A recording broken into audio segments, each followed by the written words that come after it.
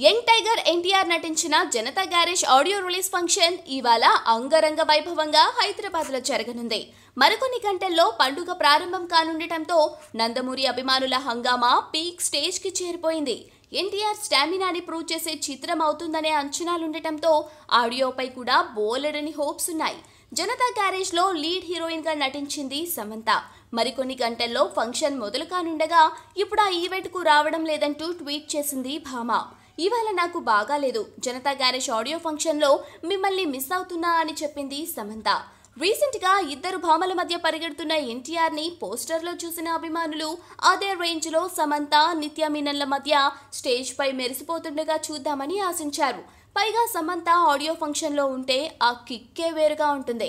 Audio ఫంక్షన్లో నడుం చూపించడం బొడ్డుకు పెట్టుకున్న డైమండ్ స్టడ్ చూపించడం అంటూ కొత్త ట్రెండ్ తెచ్చింది సమంత.